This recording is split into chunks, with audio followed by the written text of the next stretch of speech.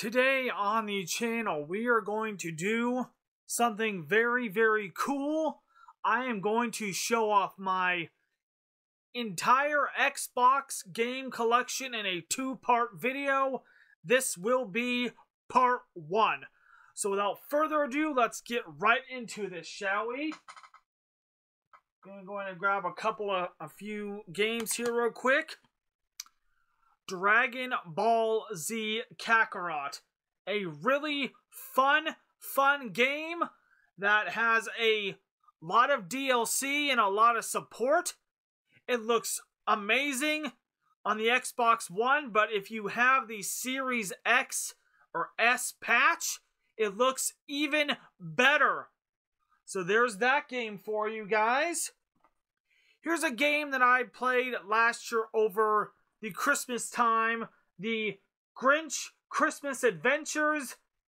It's a really cute and fun game. If you have small children or kids that are like 10 years old, pick up this game for them. You'll have a blast, and it's a great family Christmas game. This thing right here, AEW Fight Forever, the biggest disappointment of 2023. It was supposed to be good out of delay, out of delay, out of delay, and it just turned out to be crap, crap, crap, and boring. And let's be honest, your DLC prices are atrocious, and you should be ashamed of yourself. Another game I got for Christmas last year, Cyberpunk 2020, yeah, 20 77.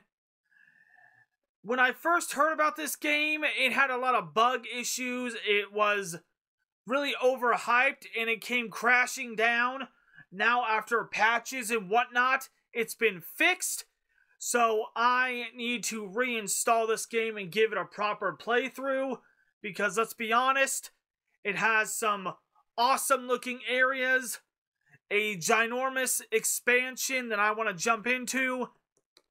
I think you guys will have fun with this one.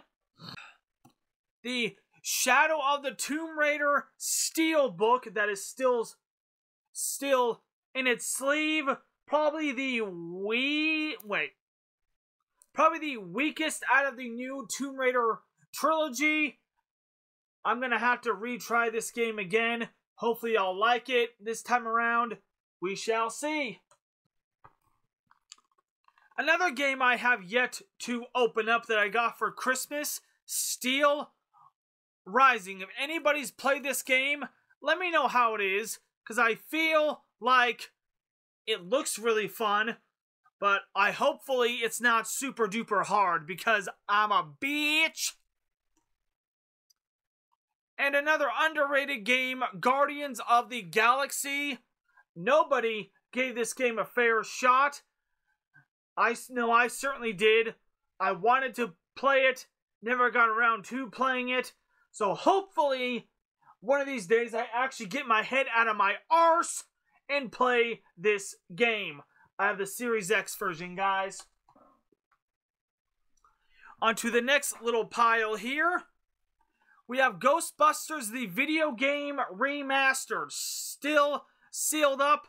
Another game I need to actually sit down and play. Do we see a trend here, guys?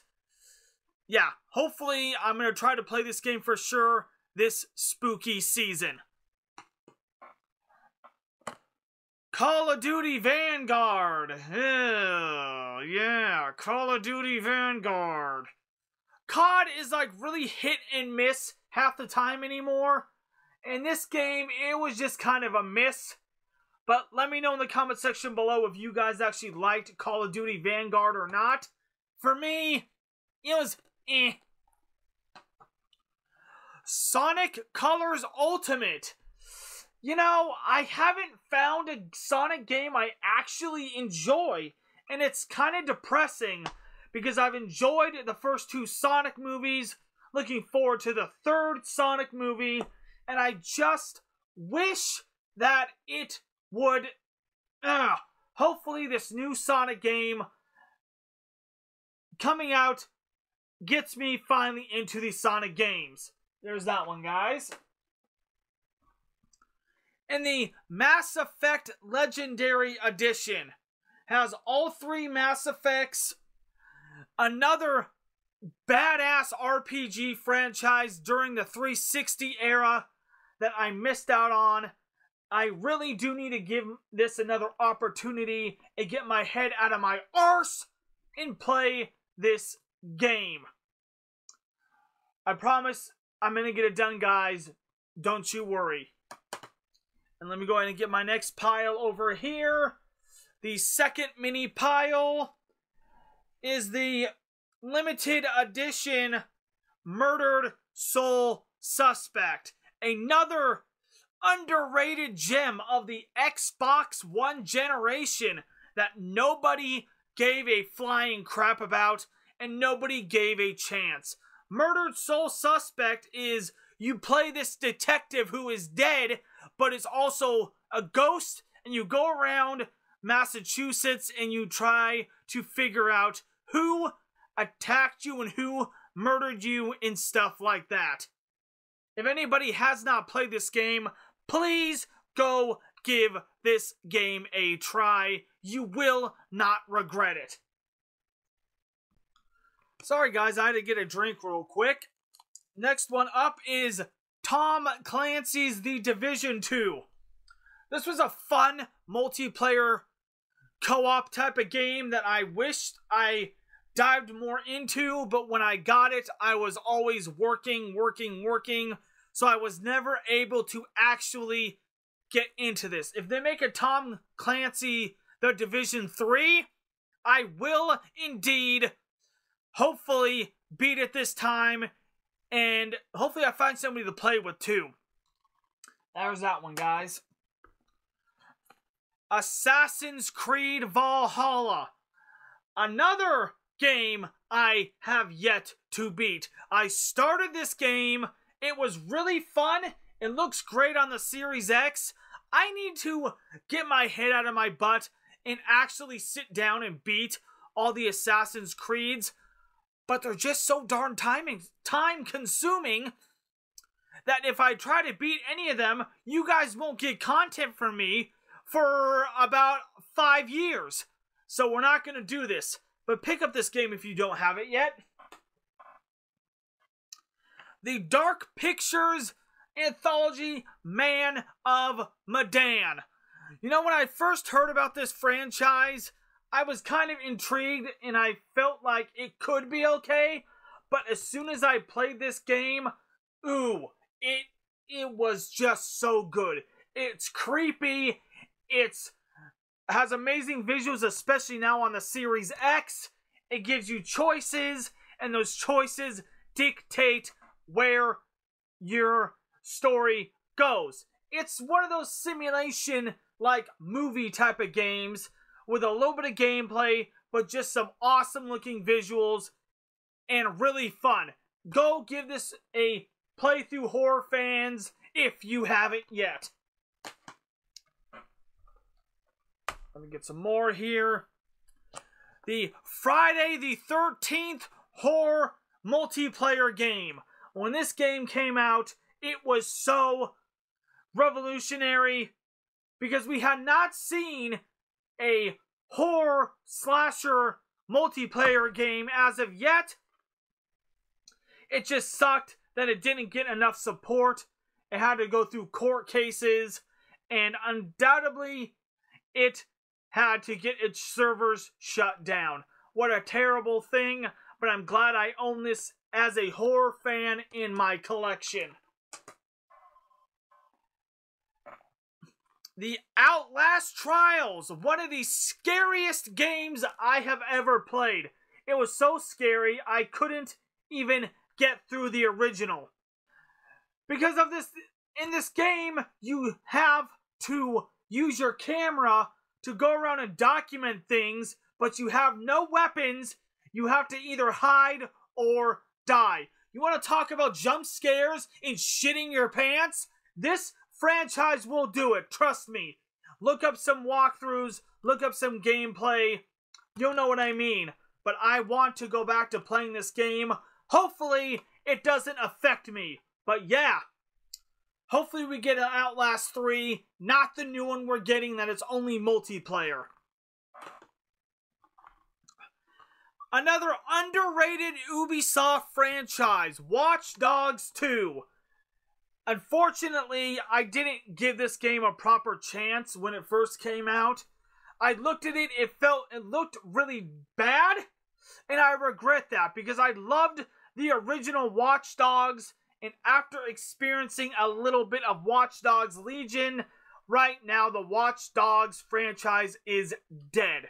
Ubisoft, if you're listening to this, which I don't think you are, please, please revive the Watch Dogs franchise. Give us a PlayStation 5 Series X game. Come on, please. The only Call of Duty I liked and actually spent a crap ton of time on. Call of Duty Advanced Warfare.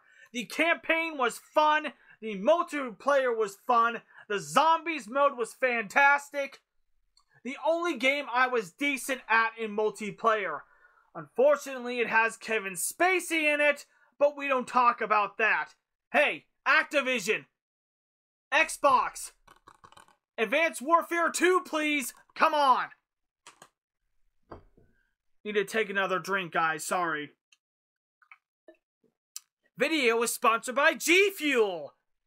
I'm just kidding. No, it's not. We have now the final stack of Xbox games for this part one. If you enjoy this, smack the video with a like and I'll give you a part two because I have some more Xbox games over there one of the best horror franchises of the modern day, The Evil Within 2. I absolutely loved the original Evil Within. I have yet to beat The Evil Within 2. It's on Game Pass. I need to sit down and do this thing justice because I don't know if we're getting an Evil Within 3 because freaking Tango Gameworks is making weird ass games like Hi Fi Rush and freaking Ghostwire Tokyo. Sorry. Hey, Tango Gameworks, please give me an Evil Within 3! Please! But no, if you're a horror fan, go buy this. Good old Gears of War 4. Man, when this game first came out, I had so much fun with the campaign. I absolutely loved the story mode. The multiplayer was fun. This was a game that I was known for the chainsaw HOE because every time you got near me, vroom, vroom, vroom, vroom, I'm gonna chainsaw yo ass. Really fun game. If you're Gears of War head, you should already own this. And Gears of War 5 a true open world Gears of War ish, expanded on the story. Awesome, awesome multiplayer. I can't wait to see what they do with Kait Diaz's story for Gear 6. Unfortunately, I got annoyed with the multiplayer and I stopped because there was just too much cheapness and I wasn't doing good with my chainsaw kills but just a gorgeous looking game on the Series X. If you don't own this game yet, it's still on Game Pass. Do yourself a favor, buy this thing physically or go download it on Game Pass. And I can't wait for Gear 6, guys.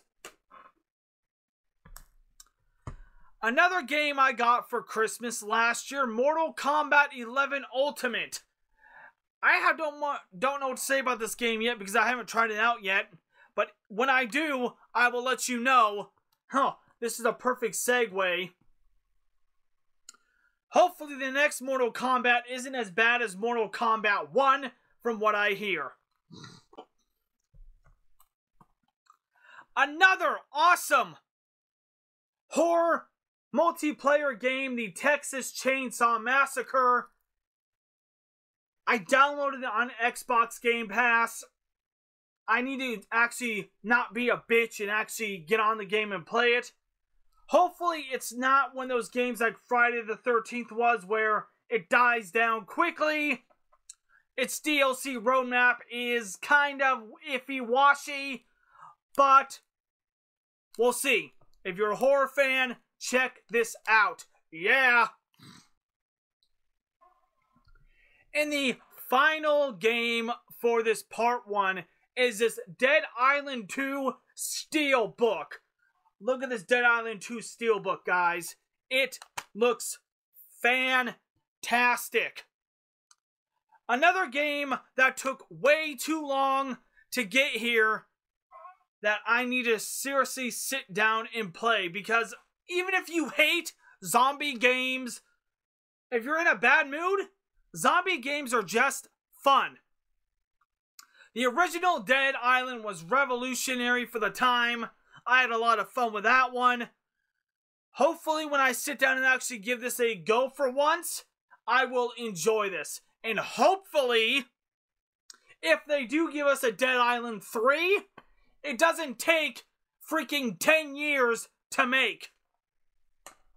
So there you go, guys. That is my part one of my Xbox games collection video. If you want to see a part two, make sure to like, comment, and subscribe to the channel, and I will definitely give you guys a part two to this collections video. And trust me, I've my Switch and my PlayStation I can also do, guys. Until the next one, peace!